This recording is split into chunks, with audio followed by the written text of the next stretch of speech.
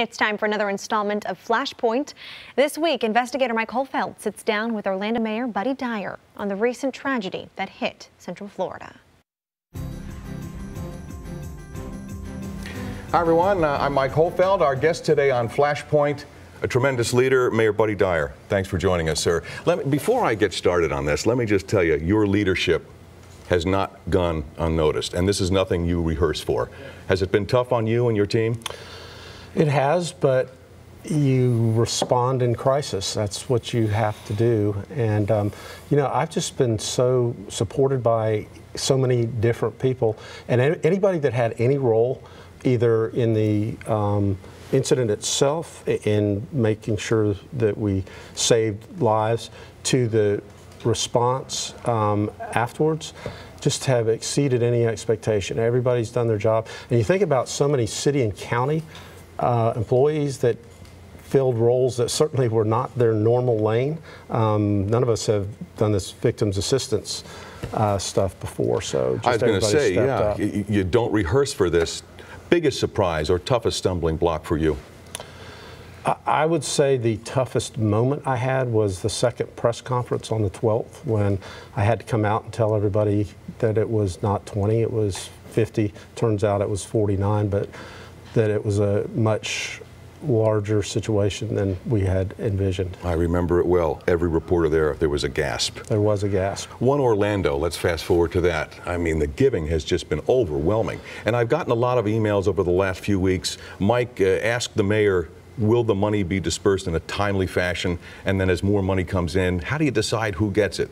We don't want people with a handout that obviously don't deserve it. So we immediately not Sunday, but probably Monday, had some of our corporate citizens say we want to participate. Uh, I think the first pledge might have been Disney at a million bucks, million dollars. So we started down the road of, okay, how do we distribute this? We don't have any model, and we initially thought we would just uh, set up a fund at the Central Florida Community Foundation and have them distribute the funds but their guidelines are such that they can only give money to um, registered not-for-profits. I see. And we wanted to go down the route of giving the money directly to the victims and their families.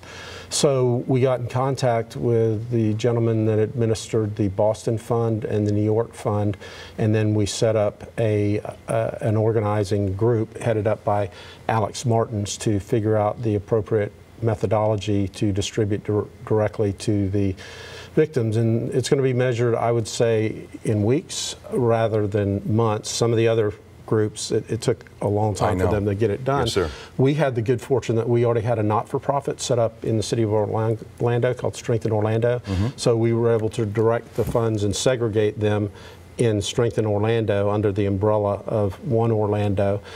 And then we need, we set up a board that's uh, five members are from the foundations that gave either half million or a million, two from the Latino community, two from the LGBT community, and two from the philanthropic community. And then we're sorting through with the guidance of uh, the gentleman that did the Boston Fund, how, what's the methodology? Who gets what right. and how much? So, so you're working through all of that. We're working through that. And then the other thing yeah. is why uh, we met the immediate needs through the Victims Assistance Center. We had 35 agencies that do that. You know that we provided burial services, we provided funerals, we provided travel arrangements, so airline. I know it's been incredible. Uh, hotels, everything that they could need. I think we met every need that any victim or family member had, except those that were longer term needs. And we said, well, you don't need that in the next three days. That's something you need in the next couple of weeks. Right. I wanted to get your take on this.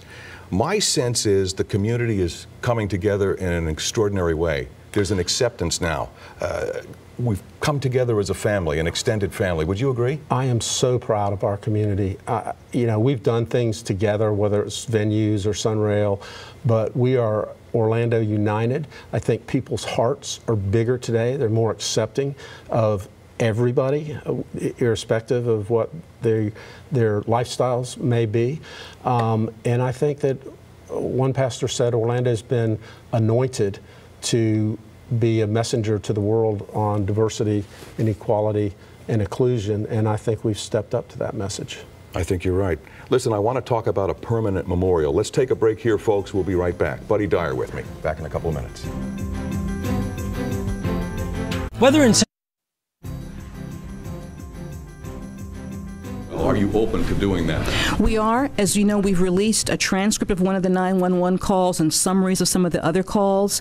Uh, when we have a situation like this, as we did in San Bernardino, where the killer is deceased, we are able to provide more information than we are often able to do when the matter is being handled in court as part of a court investigation, where, again, we are limited by the rules of evidence and what will be in court. Um, so we are looking to be as transparent as possible and to provide as much information as possible over the course of time, we certainly are open to that. I can't tell you when or in what context, but I can tell you that we are open to that. Well, uh, that's. Welcome back. Uh, the Attorney General weighing in on that with me a few weeks ago during a news conference. Your take on that? Should those recordings be released? You know, uh, it, it's a delicate balance, and the FBI's concern is to not compromise their investigation. So they're investigating other individuals that may have had knowledge of the shooter's intentions. So I understand their perspective. My perspective is different than that, but I have to recognize their perspective. I'd rather release everything that we possibly can because I would like everybody to know just how heroic the police officers and other first responders were that night and to understand what the situation was there. So there's 911 recordings of the, the killer, but there's also a lot of 911 information where people were either had called directly from inside right. the nightclub or were texting to say their parent and the parent was on 911 so uh, this has been released I, I, think so I can talk about this Go a little ahead. bit there the uh, the killer also spoke with um, our crisis negotiators on a couple of occasions and at some point he indicated that he had explosive vest and that he was going to put it on four of the remaining hostages and then position them in the corners of the building for maximum effect or to keep us from re-entering the building, one yeah. or the, the other. Yeah. But we were getting independent confirmation of that from people who were hostage in, in the there. restroom. So it didn't turn out to be true, but if you had it from the shooter and you had it from one of the hostages, you absolutely have to believe that is the case, that that's occurring. And, and I guess what must have happened was the the hostage must have heard him talking to the negotiator and couldn't see and just assumed that that was true. But there's there's information like that that I'd really like the public to be able to get the full full view of things because one of the things that was lost because there wasn't enough information out there was people were led to believe that there was the initial gun fight and then right. nothing else occurred between then and five o'clock and that's wholly untrue the first officer engaged him at the door, drove him back, and shortly thereafter, there were other officers, and, actually, one of them was from Eatonville, one was from Belle Isle, and a couple of our SWAT guys drove him back in. Well, he ran, is right, what happened, right, right, into the bathroom, and he took hostages into the bathroom. And there's a, a uh, bathroom, there was a hallway, bathroom where he was, door, and another bathroom where there were a bunch of individuals as well. So these 911 calls will show once and for all OPD handled this thing the right way. Well, what's misunderstood is during the, the course of that time, two things occurred. We engaged him on the phone, and there was no further shooting between then and when we breached the wall, and we were evacuating the victims that were still living from the other areas of the nightclub. So we were evacuating people, or OPD yes. was evacuating, right. and then getting them to the hospital. So all the while during the course of those two hours, people were being saved and taken out of the nightclub. Either they were running out or we were car carrying them out. Let's talk about first responders and that 4th of July fireworks. Let's take a breath here for a minute. We're, we're being so intense, but this is going to be a happy time, I think, for the community. Uh, what special things will be happening during that 4th of July? Well, primarily that we are going to honor the first responders that participated on June the 12th. Um, they are heroic, everybody from the FBI to the FDLE, uh, the various sheriff agencies around Central Florida, especially the OPD and the SWAT team that ended it by breaching the wall and taking down the shooter. So we'll be honoring them. I can't imagine how many people we're going to have for Fourth of July. Me neither. We routinely have over 100,000, and we had 50,000 for uh, one of the vigils. We had that uh, a week Yes. after the 12th, so I guess that would have been the 19th, Sunday the 19th. So um, I think everybody will want to come show their patriotism, but also they'll want to do some more healing and be together and be supportive. The memorial. We have a lot of souls lost that didn't deserve to die. None of them did. What about a permanent memorial? Your thoughts on that? We will definitely have a permanent memorial, but one of the things that we have uh, used as a guiding principle through the course of everything is that if you don't have to make a decision right now, don't make that decision.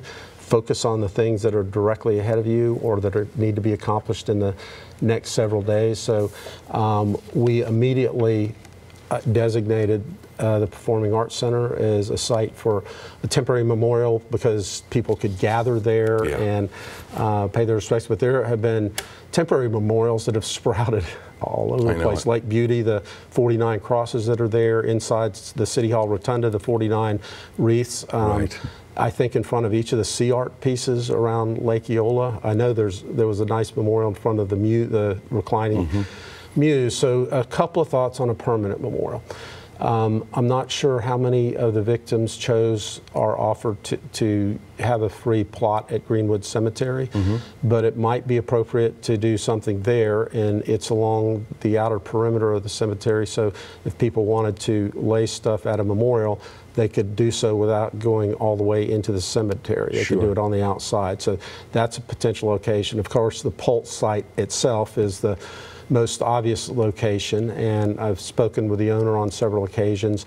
Um, they initially talked about rebuilding, but I think we're done with that. That's the most likely thing. And we're going to go about it in a first class way. We'll probably do a call to artists and figure out what an appropriate memorial piece would be. Gosh, that's fantastic. You brought up the Pulse. What would you do? Would you level it, refurbish it? Refurbish it? I know they're wrestling with that. They've been wrestling with it over the last few weeks. Again, it's a decision we don't need to make today, but my initial thought would be not to rebuild a nightclub there, but to use it as a site for the memorial and maybe incorporate the Pulse sign in some way. How are you holding up? You know, I immediately listened to the debriefing that OPD and OFD did with uh, counselors, and they said, get back in your regular routine, make sure you get a lot of water. If you exercise, exercise. I do exercise in the morning, so I immediately got into my normal mode. I think by Wednesday I started Did you? working out again. So, um, but it's been a lot of adrenaline, and I am dogged tired at the end of virtually every day I'm sure you are. because you know it's not the physical part; it's the emotional part. Yeah, and believe me, we're proud of you. Uh, I have to ask you this. We're on high alert, I know. Will that continue for weeks, for months? Are we always going to be on high alert? You know, um, I've thought a lot about why the killer might have chosen to come to Orlando versus go to Miami or Fort Pierce. Yeah. Um, and there's no way to really know, but I suspect he did because our name is known worldwide. And if you say shooting in Orlando, um, it means it's something a little more to people because we're the happiest place on earth. And I, I'm not disparaging Fort Pierce in any way, but people don't know where Fort Pierce is. And Right. most people, say in England, would not have heard of Fort Pierce, but they know Orlando, and it's a place that's supposed to be happy, and you come and visit to have great memories with your family. What do you want to? What's your final message to all of us this morning? My final message would be how proud I am of this community. Um, I said on day one that we would not be defined by the um, hateful act of a deranged killer. We'd be defined by how we respond. We have responded with love and compassion and unity, and I couldn't be more proud to be the mayor of this great city. We're proud to have you as the mayor. Buddy Dyer, thanks so much. That's this edition of Flashpoint. Thanks for joining us. Have a great day, everyone.